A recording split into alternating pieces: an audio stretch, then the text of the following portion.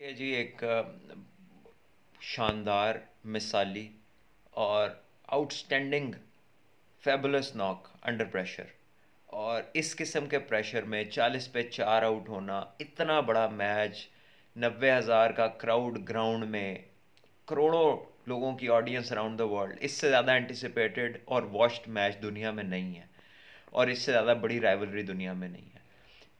Having you know been through all that और जिस तरह के तीन साल गुजारे हैं विराट कोहली ने, उसके बाद आके इतनी बड़ी परफॉर्मेंस देना एक स्पेशल स्पेशल प्लेयर का काम है।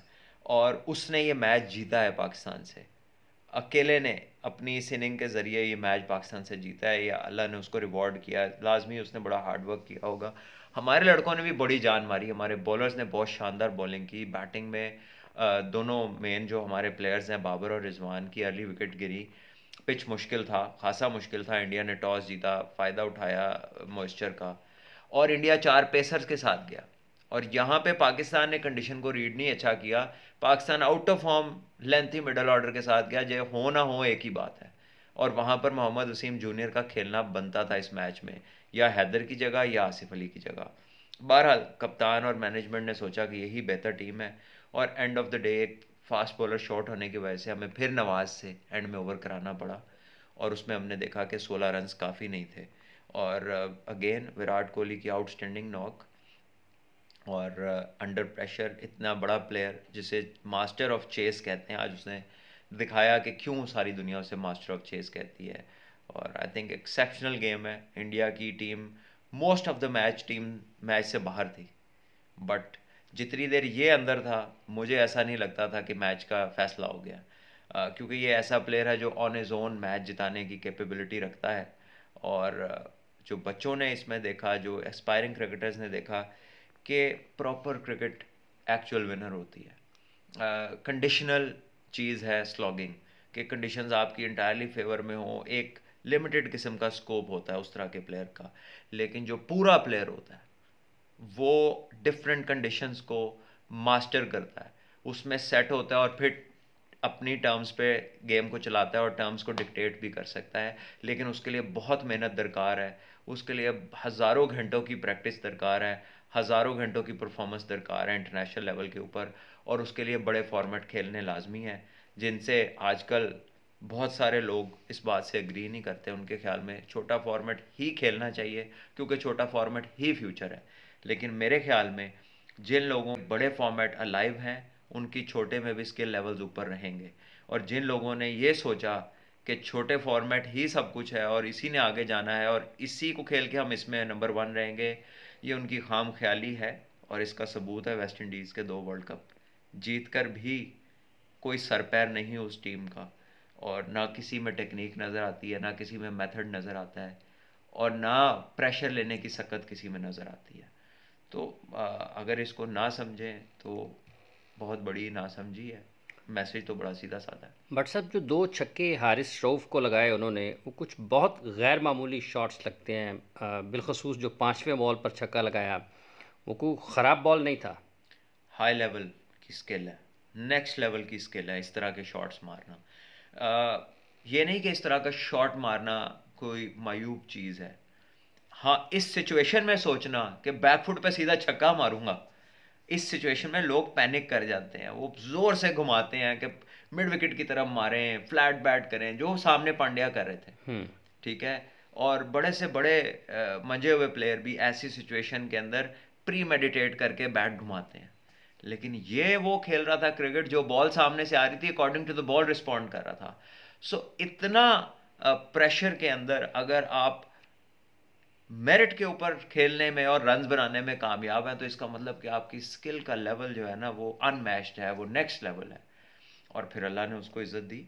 आप देखें कि ठीक है हम लोग जो है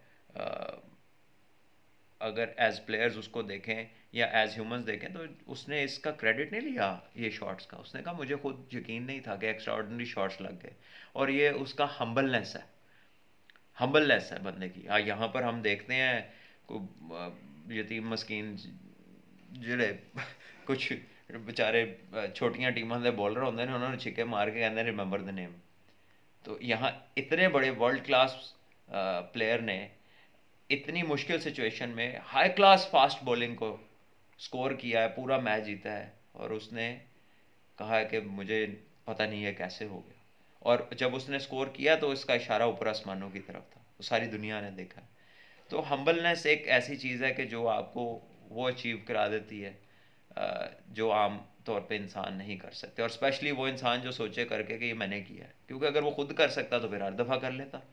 फिर तीन साल नाकामी के बाद क्यों?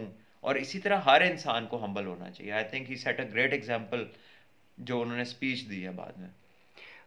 जिस तरह रोहित शर्मा ग्राउंड में आए और उन्हें विराट को उठाया है तो आपको लगता है कि ये स्पेशल किस्म का विक्ट्री है पाकिस्तान के खिलाफ?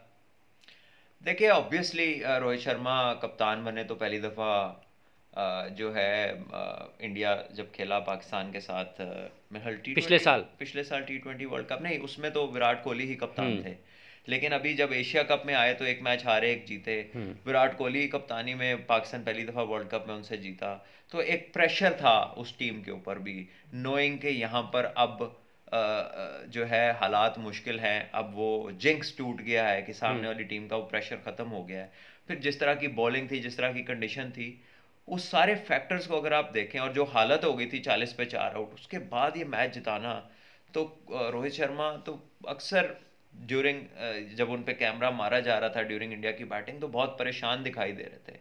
और ज़्यादा चेहरे से उनके ये बिलीफ नहीं ज़ाहिर हो रही थी कि यार ये मैच अंडर कंट्रोल है क्योंकि अंडर कंट्रोल नहीं था। Hope hmm. शायद हो लेकिन कंट्रोल में कुछ नहीं था। तो उस सिचुएशन से जब मैच जीता है कोहली ने तो कोई भी कप्तान हो अपने स्टार प्लेयर को गले तो लगाएगा। और ये कम से कम ऐसा तो करेगा। कम से कम। नो बॉल कंट्रोवर्सी बड़ी चल रही है बट सर देखिए हमेशा चलती हैं बड़े मैचेस के बाद कोई ना कोई इवेंट्स ऐसे होते हैं। लेकिन अगर आप देखें कि जब कोहली उस बॉल को स्ट्राइक कर रहे हैं तो जब बॉल और बैट का कांटेक्ट हो रहा है तो उस मोमेंट पे स्लाइटली बॉल वेस्ट हाई से स्लाइटली ऊपर है। मार्जिनल हम्म। uh, है बिल्कुल। और आई थिंक है वो इसमें अंपायर कॉल उसे कहा जा सकता है कि ना भी देते तो वो बोल सकते थे। दे दिया तो अब ये बोल रहे हैं। लेकिन अगर बहुत ही माइन्यूटली उसको माइक्रोस्कोपिक व्यू का देखा जाए तो वो जब पॉइंट ऑफ़ कॉन्टैक्ट था तो स्लाइटली वेस्ट से ऊपर थी। ठीक है तो आपके ख्याल में इस नो बॉल की कंट्रोवर्सी में शिकस्त खत को दबाने की या फिर वो जो मैच हमेशा कुछ लोग होते हैं आपस जी जो कोई ना कोई गाल उन्होंने फड़ी होती है हम्म। लेकिन लार्जर एस्पेक्ट को नहीं देखते कि जो दो छक्के मारे तो क्या वो ऐसे ही लग जाते हैं? फिर लास्ट ओवर में जो सोलह रन हुए वो क्या सारे वो एक नो बॉल के ऊपर ही हो गए सोलह रन हम्म। तो लार्जर पिक्चर को भी देखना चाहिए। अगले की एफर्ट को अप्रिशिएट करना चाहिए। ना कि आप जीबो गरीब एक आधी चीज़ को पकड़ के शुरू हो जाए। एक सौ सौ रन बने हैं आखिरी दस ओवर एक सौ बीस रन बने हैं आखिरी दस ओवर में। और सिर्फ़ एक या दो विकेट गिरे हैं तो बहुत बड़ी पार्टनरशिप हुई है।